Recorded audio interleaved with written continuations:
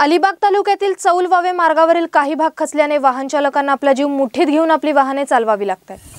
या मार्गावर वाहनांची मोठ्या प्रमाणात वर्दळ असते. मागील मे महिन्यात चौल वावे मार्गावरील रस्त्याची कामे सार्वजनिक बांधकाम खात्याकडून पूर्ण करण्यात आली होती. मात्र पावसाळा येताच या मार्गावर मोठ्या प्रमाणात खड्डेही पडले.